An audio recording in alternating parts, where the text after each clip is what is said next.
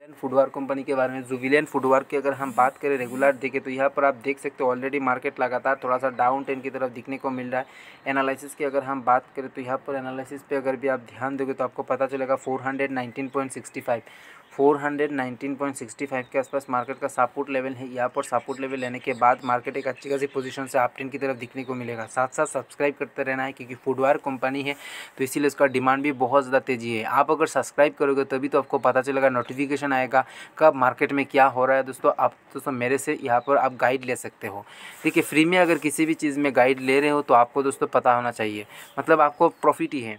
तो देखिए four plus जब मार्केट का लिमिट होगा, तभी दोस्तों मार्केट में एक अच्छी खासी पोजीशन से आपटेन की तरफ़ दिखने को मिलेगा। अभी मार्केट में इतना खास रिटर्न परसेंटेज नहीं रहेगा तो five hundred sixteen point eighty तक मार्केट का लेवल ब्रेकआउट होने के बाद ही मार्केट का पोजीशन बहुत बढ़िया शानदार परफॉर्मेंस रहेगा। आज के लिए दोस्तों, मैं इतना ही बोलूँगा। मिलते रहेंगे नेक्स्ट वीडियो में। इसी चैनल को सब्सक्राइब